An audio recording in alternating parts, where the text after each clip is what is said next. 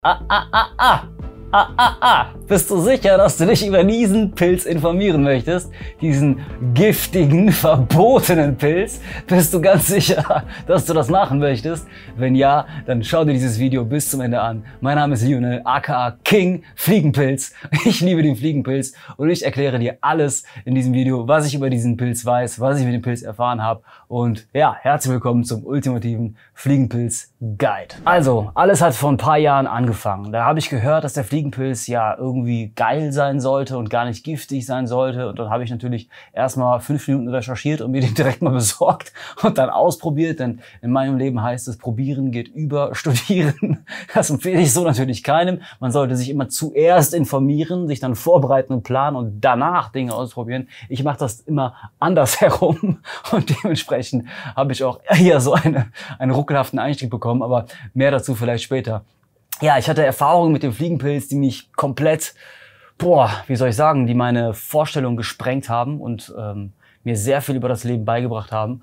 Und dann habe ich angefangen zu recherchieren und habe gelesen, dass der Fliegenpilz in alten nordischen Völkern schon lange, seit tausenden von Jahren als Rauschmittel verwendet wurde, aber auch in Form von, also in religiösen, schamanischen Ritualen Verwendung gefunden hat. Ja, manche führen sogar die Figur des Weihnachtsmanns auf den Fliegenpilz zurück. Äh, zum einen, weil er immer rot-weiß gekleidet ist, zum anderen, weil Rentiere ganz typischerweise super gerne Fliegenpilze essen und dann, weil es damals eine Tradition gab in diesen nordischen ähm, indigenen Kulturen, dass der Schamane am Ende des Jahres die Pilze durch den Schornstein in die Häuser der Menschen gebracht hat, weil die Türen oft von hohem Schnee versperrt waren. Und durch diese Legenden und Mythen sei der Weihnachtsmann entstanden und außerdem bringt der Weihnachtsmann am Ende des Jahres Geschenke und ganz typischerweise wird der Fliegenpilz in den Rauhnächten, also in den Nächten am Jahresende, ähm, in, innerhalb des Jahreswechsels ähm, konsumiert. Und in dieser Zeit kommt halt der Weihnachtsmann und bringt Geschenke. Und das könnte eine Metapher sein für das Trippen, für die psychedelische Erfahrung, für die Bewusstseinserweiterung mit dem Fliegenpilz. Denn in diesem erfährst du einen Rausch, bekommst Visionen, hast Halluzinationen und du bekommst Geschenke. Oder aber du kriegst richtig auf den Sack. das heißt, entweder kommt der Weihnachtsmann, kommt Santa Claus und bringt dir Presents, oder Knecht Ruprecht kommt mit der Route und haut dir so ein bisschen spielerisch auf den Arsch, auf die Finger äh, für das, was du im Jahr verbockt hast. Und genau so waren dann auch meine Erfahrungen meine hochdosierten Erfahrungen mit dem Fliegenpilz, nämlich, dass es eine Art Lehrer war, der mich moralisch gewertet und auch gerügt hat und mir Dinge aufgezeigt hat. Der hat zu mir gesprochen, äh, mir Bilder gezeigt und mir Sachen erklärt. Und seitdem bin ich total fasziniert von diesem Pilz und denke mir, hä, warte mal, wir sind überhaupt nicht aufgeklärt und ja, ich möchte euch einfach nur aufklären, äh, über diese Power und über dieses Potenzial, das dieser Pilz hat, der Gott sei Dank in Deutschland legal ist. Außerdem gibt es Märchen, in denen vom goldenen Mehl gesprochen wird. Und goldenes Mehl, ja, das könnte ein Hinweis darauf sein, dass damit geschredderte Fliegenpilzkapseln gemeint sind, die im Mittelalter sehr, sehr teuer waren. Es gibt auch Geschichten darüber, dass reiche Leute im Mittelalter dieses Fliegenpilzpulver zu sich genommen haben und die armen Menschen haben dann die Pisse der Reichen getrunken, um noch ein paar Moleküle von diesem super gehypten, kostbaren Schatz zu haben. Wie kommt es, dass der Fliegenpilz so unglaublich wertvoll war damals und auch heute noch ziemlich teuer und wertvoll ist? Ja, ganz einfach. Die Menschheit war vor 30, 40 Jahren auf dem Mond, vermutlich. Aber es hat noch kein Mensch dieser Welt geschafft, den Fliegenpilz zu züchten. Super viele Pilzsorten dieser Welt lassen sich vom Menschen züchten, aber der Fliegenpilz, den gibt es nur und ausschließlich wild gewachsen.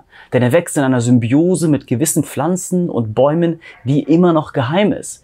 Kein Mensch hat also geschafft, in einem Labor oder zu Hause in einer Zuchtbox einen Fliegenpilz zu züchten. Darum, den gibt es nur wild, der ist nicht irgendwie produzierbar oder industriell herstellbar. Deswegen ist er super wertvoll, denn die kommen nur einmal im Jahr an gewissen Orten, müssen dann gesammelt und getrocknet werden. Aber hier ist die gute Nachricht für all die Brokies da draußen. Ihr könnt auch rausgehen und den selber sammeln. Denn der Fliegenpilz wächst überall und wenn man sucht, wird man schon fündig. Außerdem wird die Wissenschaft gerade neugierig und fängt an, an dem Fliegenpilz zu forschen, denn er könnte gegen Depressionen helfen. Ich bin der festen Überzeugung, dass er das tut.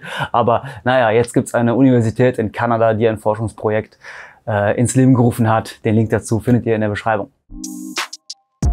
Beim Fliegenpilz ist es so, dass er in kleinen Dosen anregend wirkt. Das heißt, ich habe die Erfahrung gemacht und mein Umfeld hat die Erfahrung gemacht, dass der Fliegenpilz die Leistungslust steigert. Damit, dass er dir das Gefühl gibt, dich zeigen zu wollen. Also du hast nicht mal so eine Hemmung anzufangen, sondern du machst einfach. Du willst Dinge nach vorne bringen. Du willst, dass die Welt dich sieht. Du willst so mit dem Kopf durch die Wand und hast Lust auch an Konflikten und hast so ein bisschen Spaß an Reibung und bist so ein bisschen neckisch.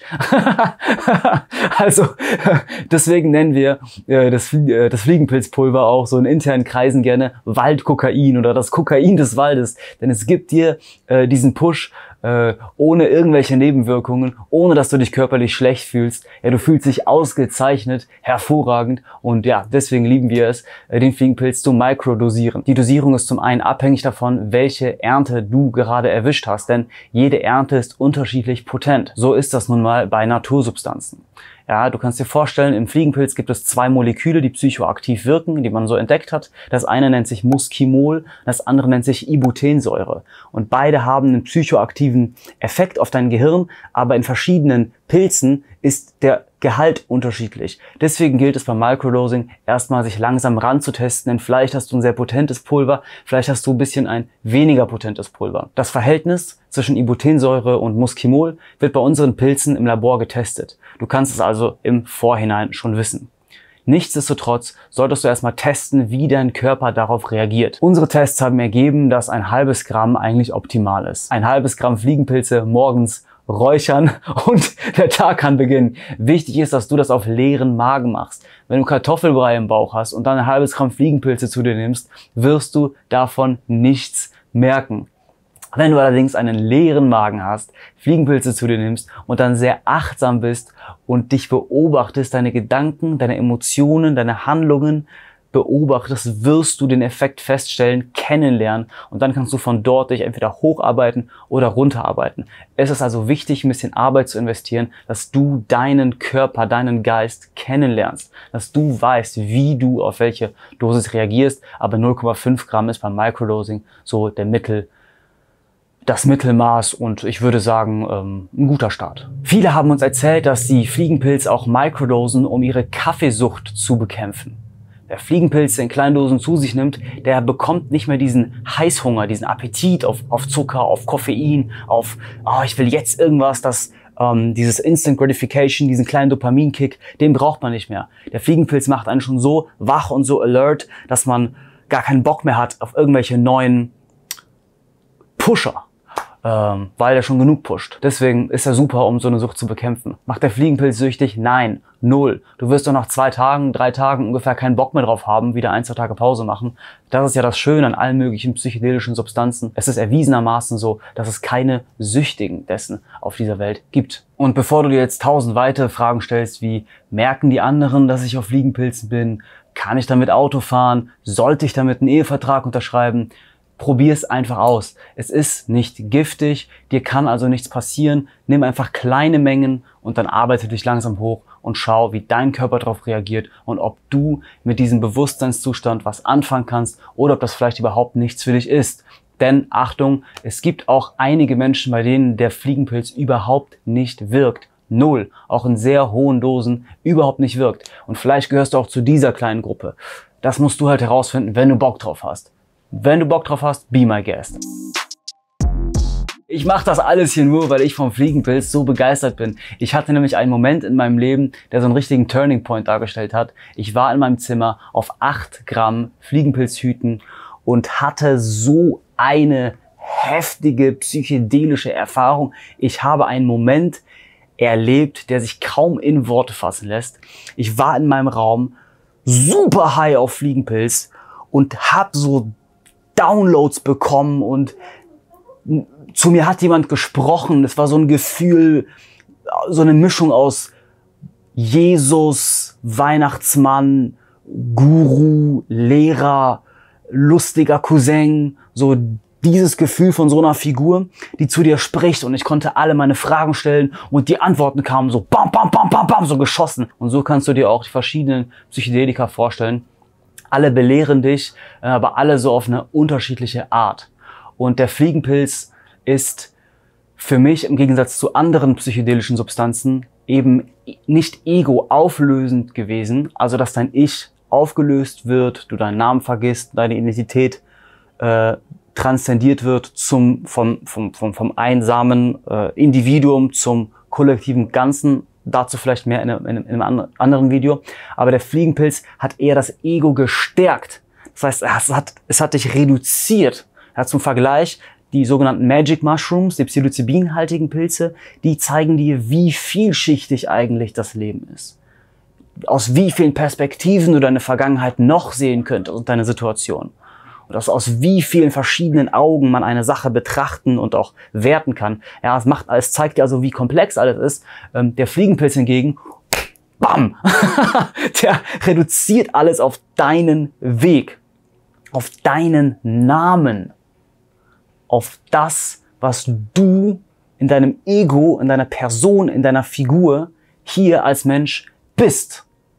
Und das war für mich so interessant, dieses Gefühl, reduziert zu werden auf meine Person und so ein Gespür zu bekommen, was ist das überhaupt? Ego. Alle sprechen davon. Was ist damit gemeint? Alle sagen den ganzen Tag, ich will, ich möchte, ich, ich, ich, ich, ich. Aber was ist dieses Ich? Und das kann man einmal ganz kompliziert und spirituell und mystisch betrachten und sagen, okay, das Ich gibt's nicht oder das Ich ist das große Ganze oder Gott ist das Ich oder äh, Ich ist alles, ich bin überall dies, das, Ananas. Das hilft aber keinem so wirklich weiter, weil das nicht so richtig greifbar ist, beziehungsweise das unterstützt sich jetzt nicht in seinem Alltagsvorhaben. Äh, der Fliegenpilz hingegen, der dreht den ganzen Spieß um und sagt, nee, nee, nee, nee, du bist eine Person. Du bist ein Charakter. Und du bist das in Form einer Verantwortung, einer Aufgabe, die du in der Gruppe hast. Ja, stell dir wie so ein Ameisenhaufen vor und jede Ameise hat eine Funktion. Und durch diese Funktion wird ihre Identität, ihr Individuum, ihre Person, ihr Ego, ihr Ich definiert. Früher im Mittelalter hat man die Menschen einfach nur nach ihrem Beruf äh, bezeichnet. Ja, da gab es einfach den Müller, da gab es den Bauer, da gab es den Bäcker und später haben wir die dann Herr Müller, Herr Bauer und Herr Bäcker benannt und auch mit, mit Vornamen und, und Nicknames versehen. Ähm, und da äh, erspürt man schon, dass es früher höchstwahrscheinlich so war, dass der Beruf einer Person hauptsächlich, also die Funktion einer Person in der Gruppe hauptsächlich für die Identitätsbildung verantwortlich war. Und so auch der Fliegenpilz zu mir, der meinte, äh, deine Person ist Bullshit, deine, deine Figur, dein, dein Ich ist so gesehen Bullshit. Aber was kein Bullshit ist, ist deine Aufgabe. Die ist echt. Okay? Deine Person, dein Ich, das ist, äh, das kannst du mal loslassen. Aber was du anpacken solltest, das ist dein Weg, deine Aufgabe, vielleicht deine Mission. Und das ist auch dein Name. Das ist auch das, wie die anderen dich sehen, als das, was die anderen dich bezeichnen. Als das, was die anderen. Ja, verzeih meine äh, äh, gebrochene Grammatik, aber ich hoffe, du kannst mir folgen. Wenn nicht, dann guck dir dieses Video nochmal in halber Geschwindigkeit an. Ich weiß, ich neige manchmal ein bisschen zu, ähm, äh, äh, zur Geschwindigkeit in meiner Kommunikation, aber das ist halt der, das Element, das mich so inspiriert hat am Fliegenpilz. Der Fliegenpilz hat mir so geile Fragen gestellt. Und die Fragen, die der Fliegenpilz mir gestellt hat, ähnelten auch sehr den Fragen, die Jesus im Neuen Testament stellt. Fragen wie, ja, da kommt, äh, in der Bibel gibt es zum Beispiel diese Geschichte, da kommt der, äh, da kommt der Stadthalter oder der, äh, kannst dir vorstellen, der, der, der, der Regent der Stadt äh, bittet Jesus hervor und fragt ihn, ey, wer bist du denn? Was ist mit dir? Alle reden von dir, aber wer bist du denn? Und dann antwortet Jesus, ja, wer ich bin. Hm, ja, was sagen denn die anderen, wer ich bin? Und genau das Gleiche hat der Fliegenpilz mich äh, gefragt. Ich so zum Fliegenpilz, ja, oh, wer bin ich? Was soll ich hier auf dieser Welt? Was, was, was soll ich mit meinem Leben machen? Wer bin ich? Und der Fliegenpilz so, ja, was sagen denn die anderen, was du bist? Oder ja, was machst du denn gerne? Was ist denn deine Leidenschaft? Was ist denn dein Herz? Und ich so, ja, mein Herz. Und duff, dann konnte ich mein Herz so gut spüren und was ich will und meine Vision. Und er meinte, das bist du. Der Weg, den du tief in dir am aller, aller, aller, aller liebsten gehen möchtest. Das ist deine Identität. Und Jesus sagt auch in der Bibel, ich bin der Weg. Ja, was soll das heißen? Kryptisch, mystisch. Ich bin der Weg. Das hat der Fliegenpilz auch gesagt. Du bist der Weg deines Lebens.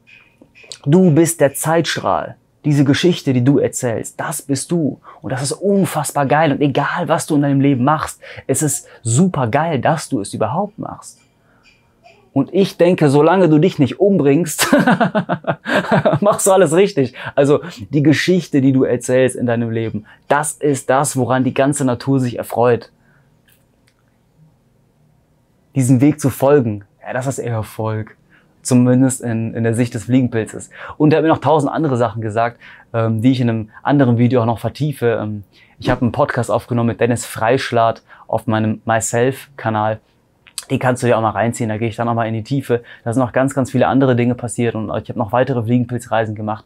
Aber so viel will ich in diesem Video mal erzählen, von diesem Moment, wo ich diese Bestätigung bekommen habe, meines Weges und Seitdem bin ich verrückt nach dem Fliegenpilz und wünsche anderen Menschen auch diese Erfahrung. Ich weiß allerdings nicht, ob du auch so eine Erfahrung haben wirst. Ich habe vielen Menschen den Fliegenpilz verabreicht, gegeben. Ich habe zu Zeremonien eingeladen, zu Fliegenpilzpartys, ja, aber habe dann festgestellt, und deswegen habe ich damit auch wieder aufgehört, weil ich habe festgestellt, dass der bei jedem anders wirkt. Die einen sind eingeschlafen, die anderen haben wie von der Tarantel gestochenen Block genommen und einen Stift und super viel aufgeschrieben. Andere haben einfach nur gelacht und gelöst, gesagt, wie interessant das sei und sich mit mir unterhalten. Wieder andere haben aber leider überhaupt nichts gemerkt. Auch auf sehr hohen Dosen. Deswegen habe ich auch aufgehört, Fliegenpilz-Zeremonien anzubieten. Weil es ein absoluter Chaospilz ist. Es ist eine Überraschung. Es ist entweder der Weihnachtsmann oder Knecht Ruprecht oder gar nichts. Und mit diesem Risiko musst du halt auch in die Erfahrung gehen und einfach so diese Haltung, okay, ich konsumiere jetzt hochdosiert Fliegenpilz und hochdosiert ist so 8 Gramm, 10 Gramm, 12 Gramm. Aber du kannst auch schon mit 3 Gramm, 4 Gramm anfangen. Natürlich auch je nachdem, wie potent dein Pilz ist. Ähm, das Ganze solltest du natürlich äh, entsprechend den klassischen psychedelischen Reiseregeln tun. Set, Setting, Dosis. Mit diesen Standards solltest du dich schon beschäftigt haben, wenn du dieses Video überhaupt zu Gesicht bekommst. Wenn nicht, dann google dich bitte durch. Auf setandsetting.de zum Beispiel gibt es eine fulminante Bibliothek an Informationen zu diesem Thema. Also bilde dich weiter, bevor du in die Erfahrung gehst. Ich kann dir nur sagen, ähm, du kannst nicht wissen, was passiert, aber ich wünsche dir eine Erfahrung, die dich bereichert und ich wünsche dir, dass du diesem Spirit des Fliegenpilzes begegnest, damit in Kontakt kommst und ein paar Tipps und Einsichten für dein Leben bekommst, damit du ein schönes Leben hast. Denn darum geht's mir hier, dass du in deine Kraft kommst. Das heißt, dass du fühlst, wer du bist, deinen Weg fühlst, deine Mission, deine Vision, deine Lust an dem Ganzen auch wiederfindest und äh, ja, ich dann hoffentlich in der Zukunft in einer Welt lebe, in der mehr Menschen diesem Herzen, das sie in sich tragen, folgen. Noch eine andere Sache zum Schluss, die der Fliegenpilz mir klar gemacht hat. Wille ist so etwas ähnliches wie Liebe. Dich mit deinem Willen zu beschäftigen, ist nicht egoistisch, sondern ist deine Aufgabe. Denn das, was du tief in deinem Herzen wirklich willst, ist ein Ausdruck von Liebe diese Idee, Wille und Liebe, ne, weil Liebe ist so absolut gut, ne? alle reden von Liebe, Liebe, Liebe und Liebe ist was ganz Tolles und so weiter, aber Wille, hm, dein Wille, dein Wille geschehe, uh, shit, hm, was, äh, das mal gleichzusetzen, einfach mal darauf zu meditieren, so, oh, mein Wille, wenn ich irgendwas will, ist das vielleicht ein Ausdruck von Liebe das war für mich ein sehr inspirierender Gedanke. Ich weiß nicht, ob es mit dir irgendwas macht. Wenn nicht, dann haben wir hier auch wieder die klassische Situation des Problems. äh, der Erkenntnis einer psychedelischen Reise, dass man die kaum weitergeben kann, weil es ist so intim und für mein Leben, für mein Gehirn hat das so gut gepasst, aber vielleicht für deins nicht. Und deswegen hier auch noch mein Tipp abschließend, falls du hochdosierte psychedelische Erfahrungen mit dem Fliegenpilz machst, du brauchst davon niemandem erzählen und versuch auch nicht unbedingt deine Erkenntnisse an andere weiterzugeben und äh, andere zu belehren mit dem, was du verstanden hast. Weil, ähm, schau mal, dieses Video hier mache ich drei Jahre nach meiner Erfahrung. Also ich habe äh, ein paar Jahre erstmal gebraucht oder zwei Jahre. Ich habe mir erstmal viel Zeit gelassen, äh, um diese Erfahrung sacken zu lassen, um dieses Video jetzt hier auch zu machen.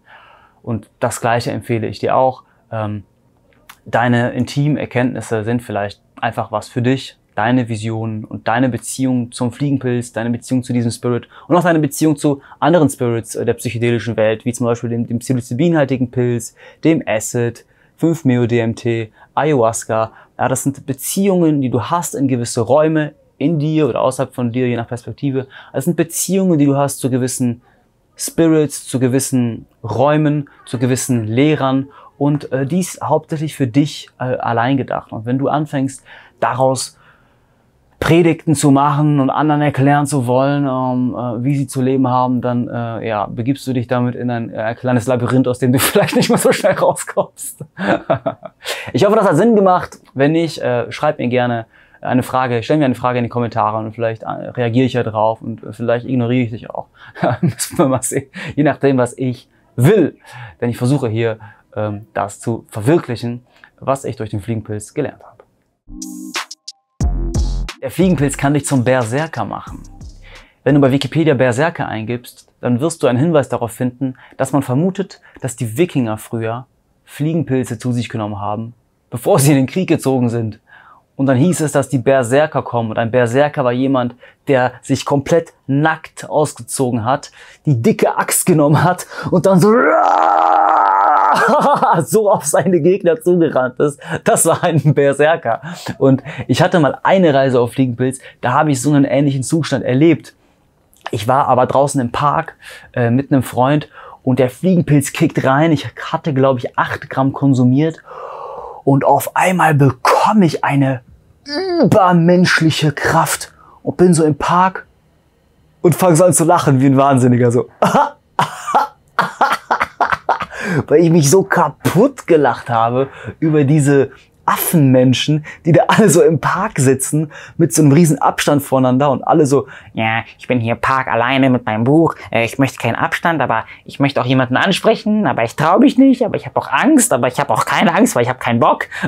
und ich hatte das Gefühl, diese ganzen Gedanken so zu spüren und zu sehen, wie lächerlich wir alle sind weil wir alle gehemmt sind und verkorkst sind und kompliziert sind. Dabei ist es doch eigentlich ganz einfach, weil wir wollen alle das Gleiche.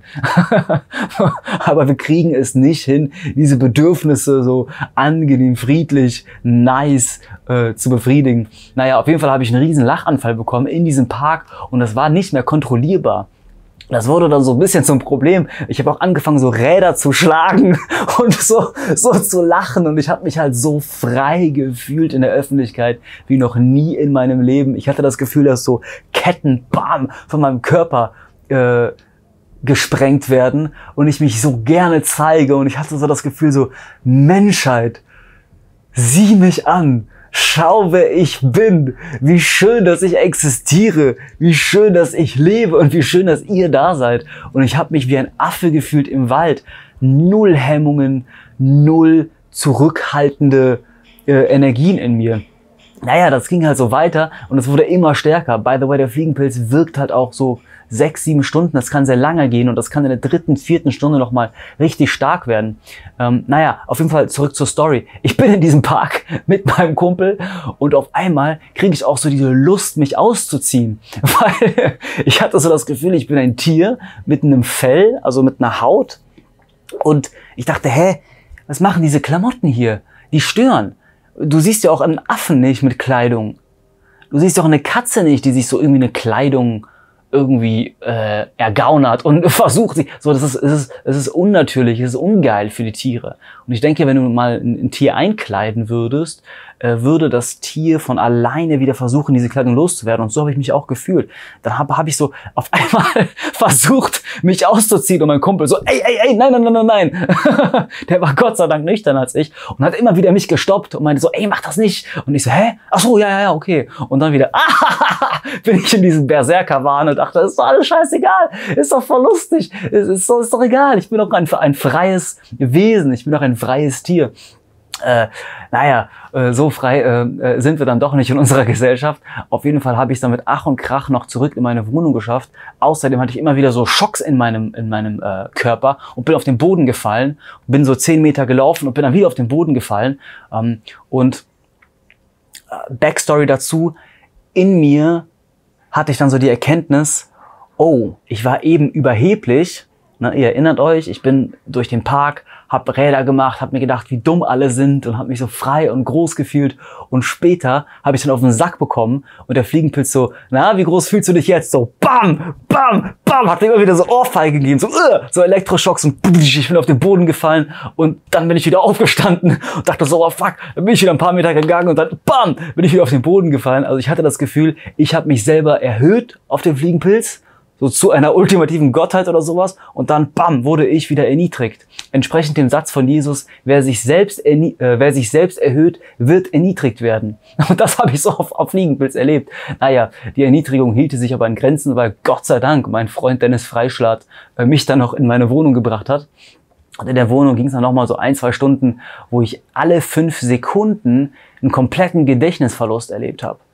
Und ich dachte, hä, bin ich tot, bin ich nicht tot? Aber die Erfahrung ging nicht so nach innen meditativ, ruhig, wie beim psilocybinhaltigen äh, Magic Mushrooms, sondern es war die ganze Zeit so voll on fire, so.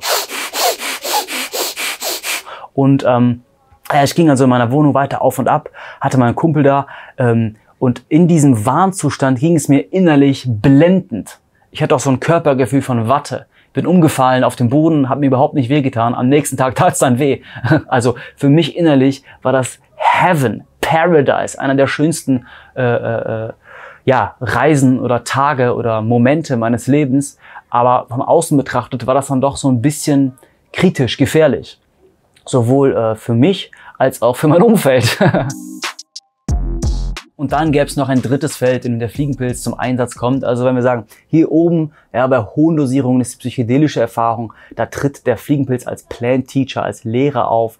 Ähm, hier unten ist das Mikrodosieren, da hilft der Fliegenpilz, die Willenslust und äh, ja, die Durchsetzungskraft zu steigern für den Alltag, das sogenannte Microdosing. Dann gibt's noch so hier diesen Mittelwert, so diese zwei, drei, vier Gramm, ähm, die hervorragend für Party dienen. Einfach Party. Und für mich ist der Fliegenpilz eine geile Alternative zu Alkohol. Du kannst dich abschießen und du hast überhaupt keinen Kater am nächsten Tag. Stell dir vor. Und ich habe mich auch schon mit Freunden getroffen und wir haben einfach ein paar Gramm Fliegenpilze äh, zu uns genommen. Wir haben gegessen und getrunken, laut Musik gehört und dann haben wir angefangen zu tanzen und wir haben uns so gefühlt wie auf Wolken. Und am nächsten Tag null Kater. Ich habe mich wie neu geboren gefühlt. Also für mich ist der Fliegenpilz auch eine perfekte Partydroge in diesem äh, mittleren äh, Feld. Zum Schluss möchte ich noch etwas über die Legalität sagen. Ja, der Fliegenpilz steht nicht auf der Betäubungsmittelgesetzbuchliste, ist also in Deutschland nicht als Droge gelistet. Dementsprechend ist der Verkehr damit legal. Allerdings ist er nicht als Lebensmittel vertreibbar. Ja, zum Vergleich, ich kann auch nicht Teer nehmen und Teer als Lebensmittel vertreiben, auch wenn der Teer legal ist.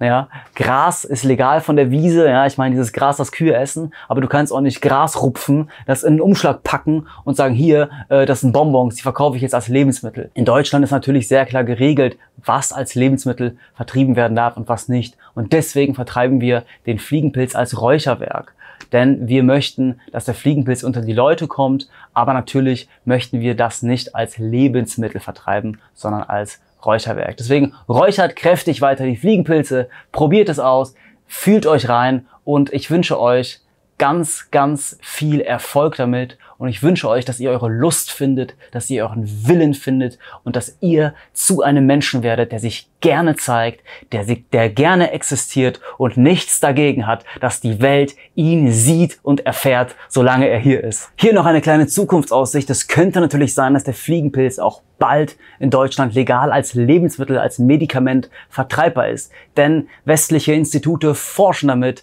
und wie das so ist in unserer Gesellschaft, erst werden Sachen verteufelt, dann werden Dinge erforscht und dann werden sie verherrlicht. Und ich hoffe, dass diese Laufbahn auch mit dem Fliegenpilz geschieht. Das war's. Herzlichen Dank fürs Anschauen des Fliegenpilz-Guides. Mein Name ist Lionel, aka Fliegenpilz King. Und wenn du noch Fragen hast, dann schreib mir einfach auf Instagram oder fliegenpilz at gmail.com.